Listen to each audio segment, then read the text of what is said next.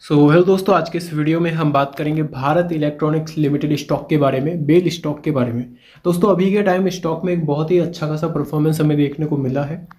Elections के बाद एक बड़ा डिप हमें नज़र आया बट उसी के साथ साथ रिवर्सल भी हुआ। बट अभी के टाइम अगर आप देखेंगे ना जो इलेक्शन से एक दिन पहले तीन जून को जो कंपनी ने हाई लगाया था उस हाई को अगेन स्टॉक हमें ब्रेक करते हुए नज़र आ रहे हैं। ये चीज़ मैंने आपको पहले भी अपडेट की हुई थी वीडियोज़ में भी और टेलीग्राम पर भी। बेल का मेरा जो रिसेंट वीडियो है, वो भी आप चेक कर सकते हैं, तीन से चार दिन पहले का ब्रेकआउट से पहले का।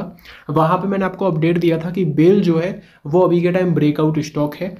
तीन सौ सत्रह रुपये का एक इंपॉर्टेंट ब्रेकआउट जोन है। अगर लेवल टूटा तो ये ब्रेकआउट हो जाएगा।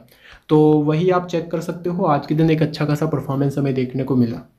एंड जैसा कि दोस्तों यहाँ पे आप देख सकते हो, पाँच जून को मैंने ये आपको अपडेट दिया था कि ये जो स्टॉक है, ये भी अपना यहाँ पर इसके स्टॉक के ऊपर आपको बस नज़र रखनी थी। जैसा कि दोस्तों यहाँ पे आप देख सकते हो, ये अपने ब्रेकआउट के बहुत करीब है, इस स्टॉक पे आपको नज़र रखना है।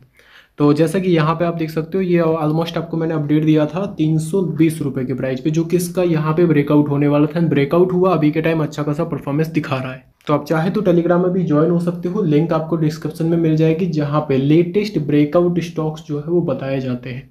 एजुकेशन व्यू के हिसाब से। अभी के टाइम जो है दोस्तों, यहाँ पे बिल में आगे अपना क्या व्यू रहना चाहिए, वो भी मैं आपको बताऊँगा। मेरा यहाँ पे पर्सनली क्या व्यू है बिल में, वो भी हम, मैं आपके सामने शेयर करूँगा। लास्ट वन मंथ में हमें 18 परसेंट की तेज़ी देखने को मिली है। लास्ट सिक्स मंथ में 82 परसेंट एंड वन ईयर में दोस्तों, एक सौ बहत्तर परसेंट तक के रिटर्न मिले। बिल ने हमेशा हमें अच्छे रिटर्न दिए हैं। मैक्सिमम अगर आप देखेंगे तो एक लाख बावन हज़ार प्रतिशत तक के रिटर्न जो है कंपनी ने हमें निकाल के दिए।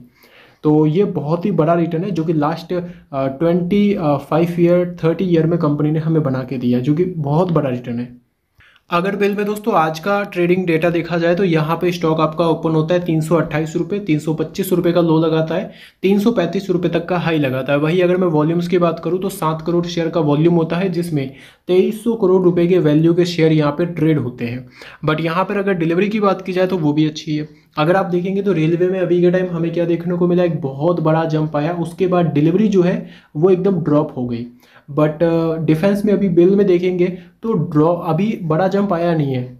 डिलीवरी अच्छी उठाई जा रही है। मतलब कि जो मतलब मैक्सिमम लोगों को ये भरोसा है कि आगे बड़ा जंप आ सकता है, इसलिए वो ऐड कर रहे हैं।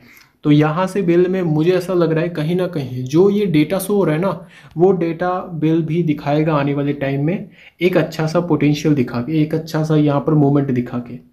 तो देखिए दोस्तों, अगर हम किसी भी स्टॉक में स्विंग ट्रेड करते हैं ना तो उसके साथ साथ चार्ट जो है वो तो इम्पोर्टेंट है बट उसी के साथ साथ हमारे लिए ये भी इम्पोर्टेंट है कंपनी के फाइनेंशियल अगर कंपनी के फाइनेंशियल अच्छे हैं और स्विंग ट्रेड में हमारा सेटअप बन रहा है तो वो स्टॉक रॉकेट भी बन सकता है. अभी के टाइम बिल की बात की जाए कंपनी का परफॉर्मेंस हमें अच्छा देखने को मिल रहा है. कंपनी यहाँ पर डिफेंस में भी है और सेमी में भी हमें देखने को मिल रही है. मार्केट कैप इसका हो चुका है दो लाख चौवालीस हज़ार करोड़ का. स्टॉक का पी है सिक्सटी का. आर आर की बात की जाए तो thirty four percent twenty six percent आंकड़े यहाँ पे बेटर है।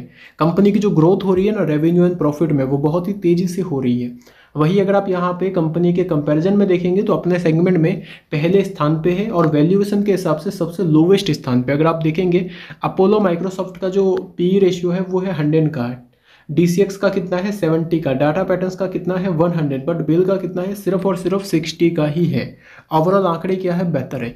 दूसरी तरफ़ अगर आप यहाँ पे देखेंगे कंपनी का रिटर्न ऑन कैपिटल इंप्लॉयड जो कि ग्रोथ ग्रोथ यहाँ पे कितनी है? पहली बात तो ये वैल्यू के हिसाब से सस्ते वैल्यू पे मिल रहा है। दूसरी बात अगर ग्रोथ की बात की जाए तो यहाँ पे सबसे तेज ग्रोथ इसकी है, इन चार कंपनियों में से। एंड उसी के साथ साथ यहाँ पे डिविडेंड की बात की जाए तो सबसे ज़्यादा डिविडेंड भी ये देता है। मतलब ओवरऑल आंकड़े हमें बहुत ही अच्छे देखने को मिल रहे हैं। अगर बात की जाए कंपनी के रेवेन्यू की तो रेवेन्यू अभी के टाइम ऑल टाइम हाई पे है आठ हज़ार पाँच सौ करोड़ का। कंपनी का प्रॉफिट की बात करूँ तो सत्रह सौ करोड़ ऑल टाइम हाई पे कंपनी का प्रॉफिट है। ईयरली वाइज अगर आप देखेंगे तो बीस करोड़ का रेवेन्यू हुआ है, जो कि ऑल टाइम हाई पे है। और ईयरली वाइज अगर प्रॉफिट की बात की जाए, तीन हज़ार नौ सौ पचासी करोड़, जो कि ऑल टाइम हाई पे है। बैलेंस शीट कंपनी की मज़बूत हो रही है। डेट फ्री कंपनी है। डेट है नहीं और एसेट्स कंपनी के बढ़ रहे हैं। एंड अगर बात की जाए कंपनी के Q1 के डेटा की तो कंपनी के Q1 के रिजल्ट्स हमें देखने को मिलेंगे 29 जुलाई को, जो कि कंपनी ने डेट पब्लिश कर दी है, जो कि ऑलमोस्ट यहाँ पे बजट से पाँच छः दिन बाद हमें रिजल्ट्स भी देखने को मिल जाएँगे।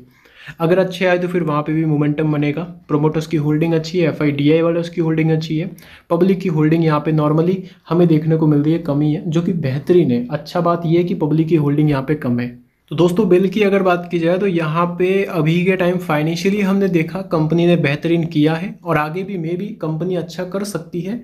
अभी यहाँ पर अगर मैं बात करूँ तो बिल में हमने क्या देखा कि जब जब एक ब्रेकआउट हुआ है ना मोमेंटम स्टॉक में बना है। जब जब ब्रेकआउट हुआ है, तब तक एक रैली बनी है पास्ट के डेटा के हिसाब से। अगर आप यहाँ पे देखेंगे तो हमें क्या देखने को मिला कि यहाँ पे ये एक लेवल है स्टॉक का। तो यहाँ पर स्टॉक में हमें ब्रेकआउट देखने को मिला, यानी स्टॉक यहाँ पर जम करते हुए नज़र आया। सेकेंड जो लेवल है, अगर मैं आपको दिखा दूँ तो वो लेवल दोस्तों निकल के आ रहा है ये लेवल रजिस्टेंट रजिस्टेंट का ब्रेकआउट हुआ, एक अच्छा खासा जंप आया। रजिस्टेंट के ब्रेकआउट के बाद दस से पंद्रह परसेंट जम गया। उसके बाद अगर आप देखेंगे, ये रजिस्टेंट बन गया अगेन तो इसका जैसे ही ब्रेकआउट हुआ स्टॉक ब्रेकआउट के बाद अच्छा जम किया। वही सेम चीज़ यहाँ पे ये रजिस्टेंट बन चुका है। इसका लेवल ब्रेक किया स्टॉक रॉकेट बना। उसके बाद अगर आप देखेंगे तो यहाँ पे ये रजिस्टेंट बना हुआ है। इसका लेवल ब्रेक होते ही मोमेंटम आ सकता है। ये यहाँ पे मेरा मानना है। तो यहाँ पे अगर मैं आपको बताऊँ कि आगे मेरा यहाँ पर क्या व्यू रहेगा, क्योंकि ऑलमोस्ट मैंने दोस्तों, अगर मैं आपको बताऊँ कि यहाँ पे मेरा व्यू क्या रहेगा ऑलमोस्ट मैंने अपनी पोजिशन कहाँ पे बनाई, अगर उसके बारे में आपको बताऊँ। तो स्टॉक का देखिए इंपॉर्टेंट लेवल था 320 320 का लेवल जैसे ही ब्रेकआउट हुआ मैंने अपनी पोजीशंस बनाई। एंड यहाँ से अगर देखा जाए तो मैं यहाँ पे अपना टारगेट कौन सा लेके बैठा हूँ फिबोनाची के हिसाब से आ, वो मेरा रहेगा रहेगा थ्री फिफ्टी रुपीज़ का पहला टारगेट मेरा रहेगा। वहाँ पे मैं अपनी कुछ पोजीशंस को शॉर्ट टर्म के लिए स्कोर अप भी करूँगा।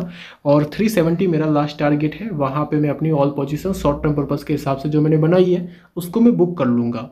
तो यहाँ पे ब्रेकआउट हो चुका है इस लेवल का।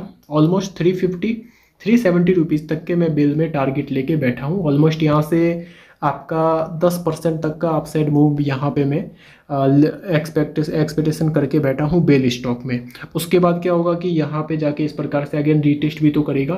और बट मेरा एसएल भी आप ध्यान रखिए, क्योंकि टारगेट के साथ साथ हमें स्टॉप लॉस भी रखना पड़ता है। अगर हम मार्केट में पैसा गंवाने आते तो ये भी ध्यान रखना है कि मार्केट पैसा हमसे ले भी सकता है। तो अगर मान लो मार्केट मेरा पैसा लेना शुरू करता है तो भी मैं अपना कितना पैसा दूँगा? थ्री ट्वेंटी पे। क्योंकि मैंने थ्री ट्वेंटी पे अगर एंट्री ली है स्टॉक में अच्छा मूवमेंट आ चुका है तो यहाँ पे मैं थ्री ट्वेंटी का स्टॉप लॉस लगा लूँगा अब यहाँ पर अगर मान लो रिवर्स भी किया तो मेरा थ्री ट्वेंटी पे एंट्री थी थ्री ट्वेंटी पे एग्जिट तो मेरा लॉस नहीं होगा।